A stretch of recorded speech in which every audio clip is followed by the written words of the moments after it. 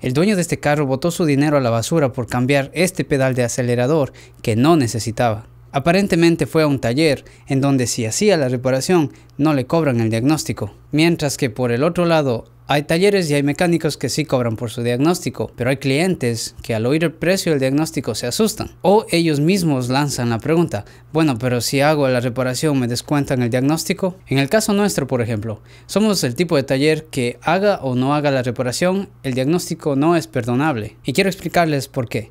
Hay personas que creen, para empezar, que conectando un lector de códigos como este, por ejemplo, de 20 dólares, me va a dar un código y el código que me dé me va a decir que está mal. Eso es lo que la mayoría de los clientes piensan que es un diagnóstico. Y realmente no pienso atacar a los clientes porque un cliente no tiene por qué saber cómo se arregla un carro. Pero hay incluso algunos mecánicos que creen que poniendo un lector de códigos como esto, o mejor aún, si es que consiguen algo un poquito más caro como esto, les va a decir qué tiene el carro es que no importa qué tan caro sea la herramienta para leer códigos, el resultado a la final dependerá de lo que el mecánico que está revisando sea capaz de interpretar esa información, realizar pruebas y concluir cuál es el problema. Por ejemplo, un escáner no es diferente a un destornillador o a un playo. Ambos son herramientas de diagnóstico que en determinado punto son necesarias. Entonces, partiendo desde allí, un escáner no es suficiente para hacer un diagnóstico, no siempre es necesario, aunque tratándose de un check engine, por ejemplo, un escáner es casi indispensable, aunque hay carros en los que incluso se puede determinar qué código tiene la computadora en base a la palpitación del check engine. Pero para llegar a ese punto también deberíamos estar completamente bloqueados de herramienta y normalmente no es el caso. Si algo de 20 dólares puede solucionar eso, es mejor tener algo de 20 dólares para poder ver el código. Para eso vamos a tomar de ejemplo esta 2012 Chevrolet Express, que como les digo, fue a otro taller, le cambiaron el pedal del acelerador para tratar de apagar la luz del check engine que causaba que el carro no pueda pasar la revisión anual que se exige en esta área. Resulta que este carro ya estuvo en nuestro taller para hacer diagnóstico exactamente de esto, más sumado a otras revisiones que el cliente quería hacer en su momento. El problema fue que algo sucedió en el proceso de diagnóstico y simplemente tuvimos que entregar el carro al cliente ya que no nos daba mucho tiempo para poderlo hacer. Les invito a que vean el video de lo que pasó en esa época. Lo cierto es que meses después regresó y esta vez con la noticia de que cambió el pedal del acelerador en otro lugar y no arreglaron el problema de él que era el check engine. Así que le dijeron que parece que es problema de cablería o que es problema de computadora, así que se quedaron en las mismas por decirlo así. El código que estamos tratando de diagnosticar es este de aquí, P0121 que también tenemos acá en la sección de OBD2 global. La descripción del código nos dice throttle, que es la mariposa aceleración, pedal position sensor, que está en el pedal que le cambiaron, switch A, circuit range performance, que básicamente significa que está fuera de los parámetros. Para empezar, fíjense que el código sí dice pedal position sensor. Entonces, ya le cambiaron el pedal position sensor. Nosotros podríamos cambiar el throttle, que es el, la mariposa de aceleración. Pero como ya sabemos que ese no es el camino tampoco, vamos a ver qué es lo que tenemos que considerar aquí para poder hacer este diagnóstico. Primero que nada, empecemos analizando la tabla de diagnóstico que nos proporciona Chevrolet. Como paso número uno, dice entienda y verifique el problema del cliente. Paso número uno, problema del cliente, la luz del check engine encendida. El cliente no ha sentido nada anormal con el motor, nada absolutamente excepto la luz. Luego nos trae para acá abajo y dice y nos pregunta, ¿el vehículo está operando como debería operar? Tenemos dos caminos, ¿sí o no?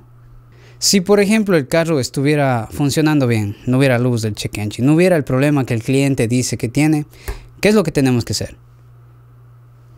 Revisar con un vehículo idéntico para saber si el otro vehículo responde igual.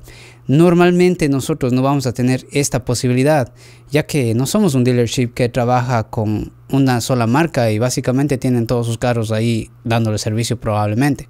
Entonces, esta no es una opción que a nosotros nos sirva. Pero si fuésemos capaces de identificar que lo que el cliente está viendo como un problema es normal, lo que dice aquí es que tenemos que explicarle al cliente que su carro está funcionando bien y lo que él está viendo como un problema en realidad es algo normal, si fuese el caso. Como por ejemplo en este 2018 Mercedes-Benz C300, al momento que el carro llega a una luz o se para por completo, el motor se apaga.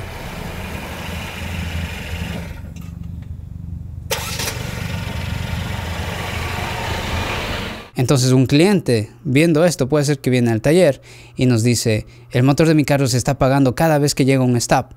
Y aparte de eso no siento nada más.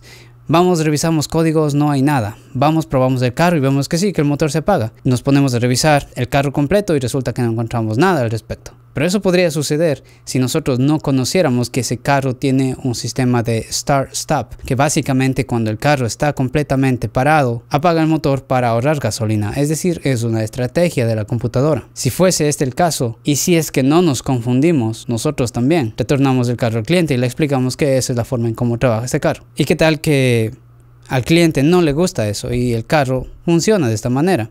Hay una opción también que dice que el cliente está no está satisfecho y por lo tanto es algo en lo que nosotros no podemos hacer nada al respecto, ya que es un defecto, por decirlo así, que al, que al cliente le molesta desde la misma fábrica. Entonces, definitivamente por este lado no está el caso porque el vehículo no está operando como fue diseñado, ya que tiene la luz del check engine encendida. Aunque no se sientan problemas, la luz del check engine encendida no es normal, por lo tanto no está operando correctamente hacemos una inspección visual, vemos si es que hay algo raro por allí, identificar qué categoría de diagnóstico hay que realizar. En este caso, la luz del check engine está prendido definitivamente porque tiene que haber un código. Nos pide también revisar bulletins o recalls. Así que a este punto lo que nos conviene es ir y revisar bulletins si es que tenemos disponibles. Pero antes de llegar a ese punto, fíjense que de aquí se ramifica hacia varias opciones o varios caminos que tenemos para escoger. Por ejemplo, si tenemos un código de motor, que si lo tenemos, o más bien código, no necesariamente código de motor. Si tenemos un síntoma pero no tenemos código, si es que simplemente lo que está describiendo o está sucediendo no está en algún manual de servicio, por lo tanto tenemos que analizarlo por nuestra cuenta y tratar de determinar qué es lo que sucede en base a nuestros conocimientos o simplemente es un problema intermitente que va y viene de rato en rato. En este caso probablemente lo que mejor nos calza es este, el current DTC, pero también es algo intermitente, por lo tanto los dos calzan a la perfección a nuestro problema. Así que, ¿qué tendríamos que hacer? Es ir y revisar este código. ¿Qué significa? Ir revisar si tenemos service bulletins. Antes de pasar hacia allá y dejar esta tabla, fíjense que como puntos finales, básicamente dice repare y verifique la reparación. Eso es muy importante. Si es que no reparamos y verificamos la reparación, hay un punto número 8. Reexamine el problema del cliente y vuelva a empezar básicamente. Así que vamos a empezar a analizar el código. Lo primero que tenemos que hacer es entender qué significa ese código. Así que para ello ya debemos en este caso tener una fuente confiable en donde podamos entender y determinar de qué se trata este código. Como por ejemplo aquí, P0120, P0121 es el que nos interesa. Dice que el throttle position, TP, sensor 1, performance, o sea, rendimiento del sensor 1 del throttle position, del de la mariposa de posición, del, sensor de posición de la mariposa de aceleración. La dificultad de leer manuales en inglés y traducirlos al español es lo que hace que muchos que aprendemos diagnóstico en inglés nos quedemos con los términos en inglés en vez de decirlos en español. Ahora ustedes pueden darse más o menos cuenta de eso. Siguiendo con eso, fíjense en esta tabla que si los 5 voltios estuvieran hechos, por ejemplo, cortocircuito a ground, tendríamos estos códigos. Si hubiera alta resistencia, tuviéramos este código. Si estuviera abierto, tuviéramos estos códigos. Y si estuviera cortocircuitado positivo, tuviéramos estos códigos. Y justamente estos 5 voltios referenciales, si tuviéramos algo que está saliendo del rango, tuviéramos este P0121. Pero no tuviéramos ese P0121 solamente en los 5 voltios de referencia. Tuviéramos también cualquier problema que se dé en el Throttle Position Sensor 1, en el Throttle Position Sensor 2 y en la referencia de negativo.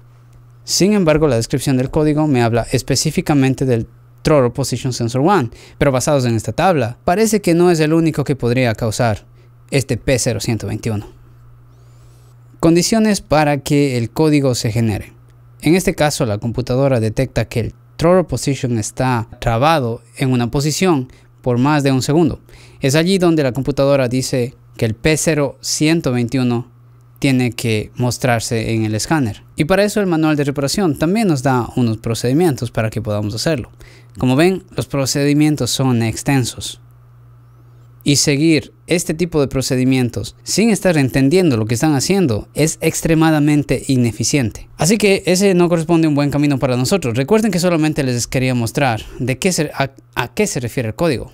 Pero recuerdan que también la tabla nos mostraba de que tendríamos que revisar TSVs o Technical Service Bulletins que correspondan al problema que estamos teniendo. Porque de otro modo lo que tendríamos que hacer es básicamente culpar a esta pieza que es el Throttle Body Assembly.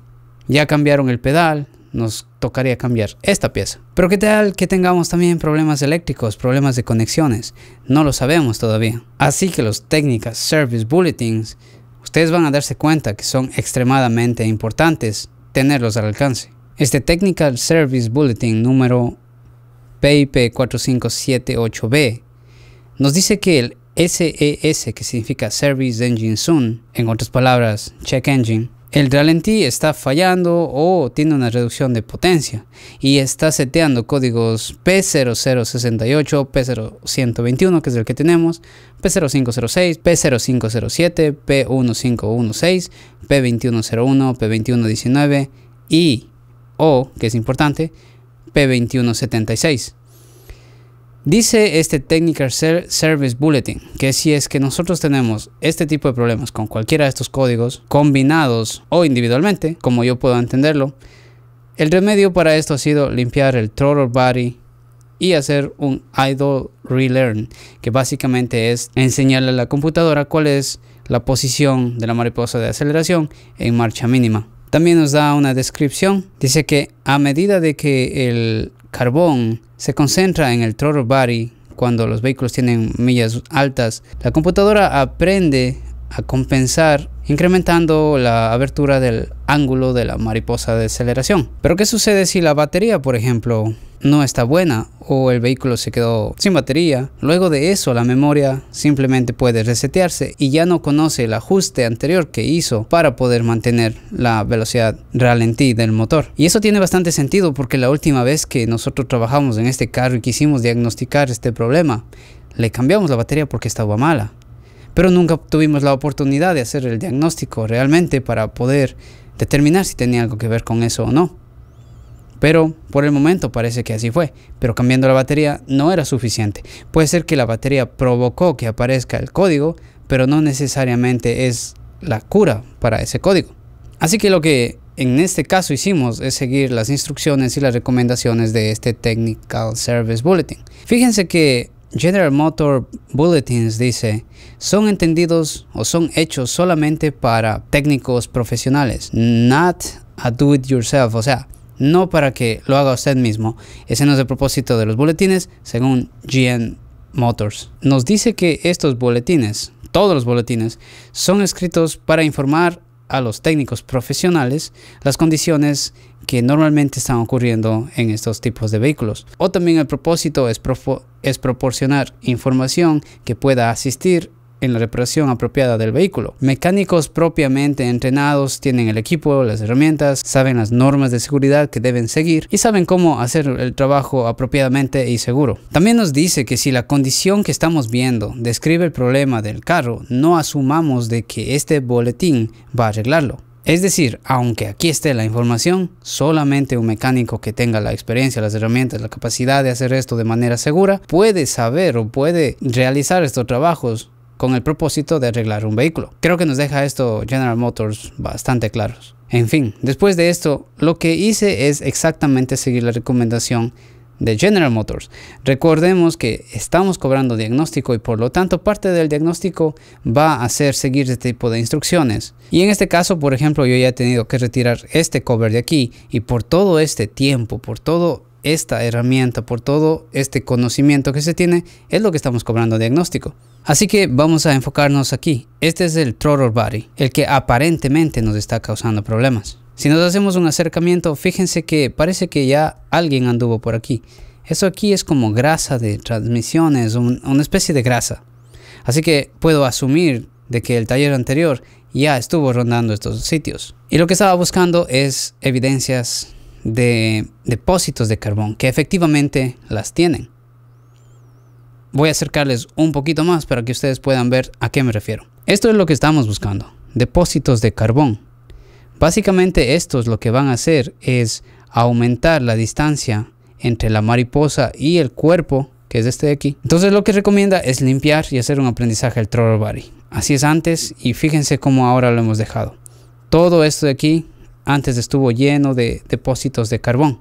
Aquí todavía quedan remanentes, pero al menos están fuera del área en donde la mariposa va a sentar. Aquí tenemos otra vista, como les digo, esto de aquí fue muy difícil quitar y también tienen que saberlo limpiar. Tampoco estos videos son entendidos para que ustedes vayan y lo hagan de cualquier manera, simplemente es para que ustedes comprendan el proceso de diagnóstico que más o menos se tienen que seguir. Tengan cuidado si limpian estas mariposas de aceleración porque si es que lo limpian inapropiadamente pueden dañarla. Seguido de ello, hacemos el proceso de relearn. Hay dos opciones, se lo puede hacer con escáner y sin escáner.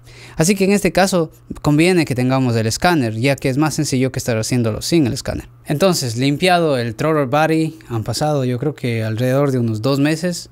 El cliente nunca más volvió con el problema. Es más, el carro regresó como hace unas par de semanas al taller para otro tipo de servicio sin el check engine, así que limpiar el throttle body resolvió el problema. Por lo tanto, no teníamos que cambiar el throttle body, nunca tuvo que haberse cambiado el pedal del acelerador, no era ningún problema eléctrico y cuál fue la clave para poder llegar a la solución real era, por ejemplo, tener el conocimiento de cómo atacar el diagnóstico, entender de qué se trataba este diagnóstico, entender por dónde había que atacarlo, tener el acceso a la información que teníamos que tener, tener la herramienta para hacer el proceso de aprendizaje, tener el sitio y obviamente estar entrenados. Así que le cobramos una hora de diagnóstico para hacer todo eso y eso fue todo. Fue suficiente para resolver el problema por el cual él vino yo creo que no había nada más barato que el diagnóstico. Imagínense cambiaban el throttle body. Es verdad que se hubiese arreglado también el problema, pero si no podían también hacer el relearn, por ejemplo, porque no tenían un escáner, aunque cambien el throttle body, había el riesgo de que quede mal. Así que bueno, como lección, por ejemplo,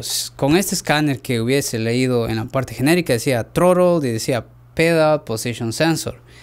Así que si hubiéramos tenido un poco uno un poquito más caro, tal vez no nos confundía y no decía pedal y, por lo tanto nos decía solo throttle position sensor.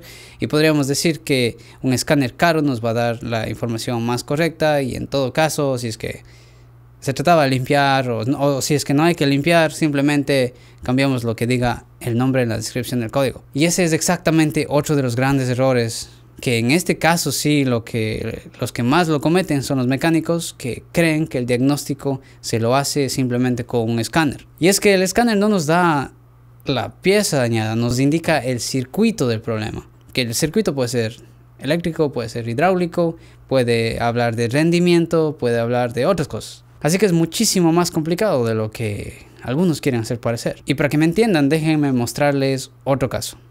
Llega al taller este 2012 Volkswagen Passat. Tiene múltiples problemas, como por ejemplo el motor recalentando y también los frenos no sirven, entre otros más. Así que lo que hicimos es un análisis preliminar y determinamos de que el recalentamiento no necesariamente tiene que ver con los frenos funcionando mal. Así que nos vamos a dedicar ahora mismo a lo que es el recalentamiento del motor. Pero ya fíjense que en el diagnóstico sabemos que los frenos los vamos a dejar a un lado por ahora. Así que saber qué dirección estamos tomando y plantearle al cliente el camino claro de cómo estamos efectuando la reparación es extremadamente importante. Aquí en esta imagen vemos que el check engine está prendido y que la temperatura del motor apenas está empezando a calentarse. Algo que siempre hacemos nosotros es hacer un barrido de códigos de todos los módulos para ver qué es lo que tenemos.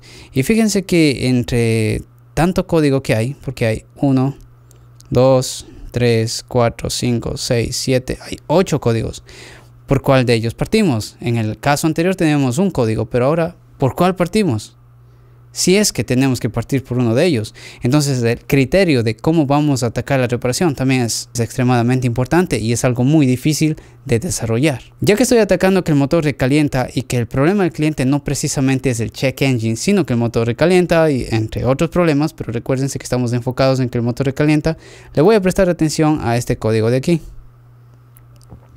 y dice fan 1 control circuit short to ground. Ese es el código 01681 o si es que ustedes tienen otro escáner o si quieren en, el P code, o sea, código que empieza con P, P0691. Ese sería el código y básicamente me dice que hay un cortocircuito en el fan 1, o sea, en el ventilador del radiador. Si es que aplicamos la lección por llamarlo así, aprendido en el carro anterior, tendríamos que cambiar el radiator fan y la mano de obra para eso. Si el cliente hace esto, vamos a ver qué hubiese pasado. Aquí en esta imagen está ya la condición. Fíjense cómo la temperatura del motor está súper alta. Normalmente no debería pasar de aquí. El check engine está apagado porque nosotros lo habíamos borrado. Yo quería ver si es que regresaba algún código inmediatamente. Así que lo que hicimos en este caso es conectar un back probing. Fíjense este cable de aquí. Esto de aquí va a ir hacia una herramienta que vamos a recoger la señal que llega a este cable rojo de aquí. Porque estamos midiendo positivos y negativos. En este caso voy a medir el lado positivo. Pero cuando el ventilador tiene que prenderse, la señal cambia completamente y nos daba un valor de 1.4 voltios y este tiene que ser siempre positivo para que el ventilador pueda, pueda, funcionar. Así que esto ya despierta una alarma en nosotros y nos quiere decir que el voltaje se está cayendo en algún punto. Nuevamente usando manuales de reparación y plataformas como por ejemplo esta Identifix que cuesta mensualmente una membresía, vamos a los diagramas eléctricos y lo que nos y lo que queremos saber es exactamente ese cable de dónde a dónde tiene que venir. Por ejemplo, me fijo que llega a un fusible número 27 de 50 amperios.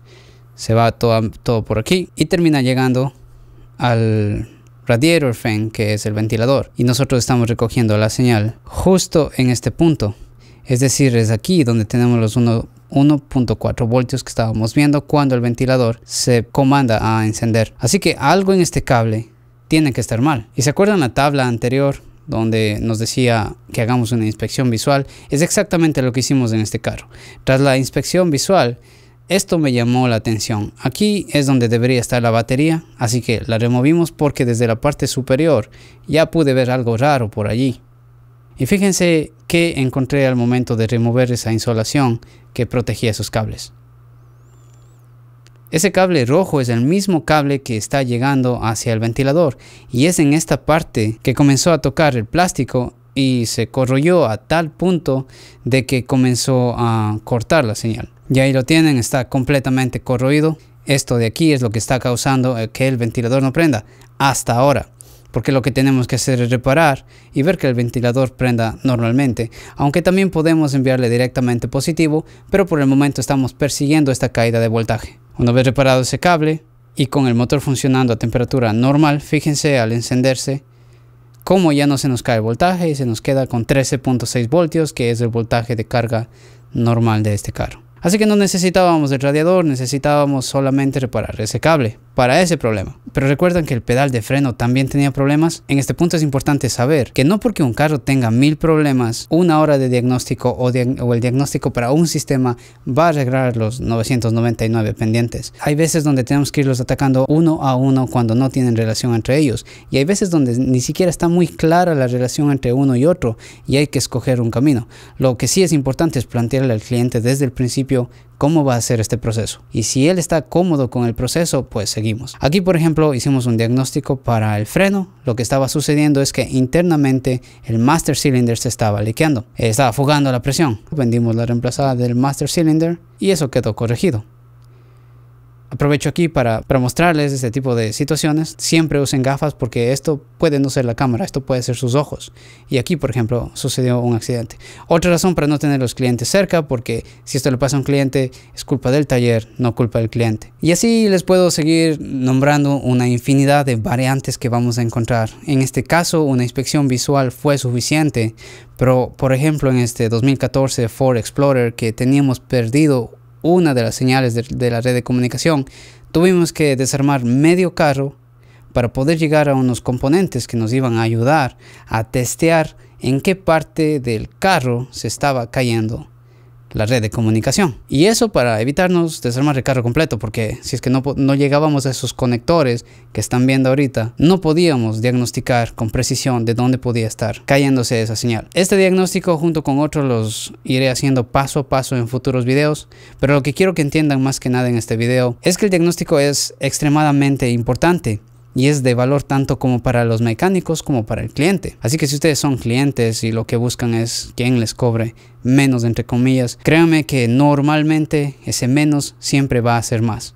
Y es preferible pagar por algo que les garantice la reparación o que en todo caso les ponga claros el camino que hay que seguir para poder llegar a reparar un problema antes que alguien que les prometa repararlo y darles gratis cuando en realidad lo que van a estar haciendo es botar su dinero. Y si ustedes en cambio son mecánicos y lo que quieren es desarrollarse en el diagnóstico, tienen que saber que esto no se va a lograr de la noche a la mañana. Ustedes tienen que meterle muchos años de estudio y de práctica y de estrés porque esta cosa es muy estresante, no solo al principio, sino por los siglos de los siglos.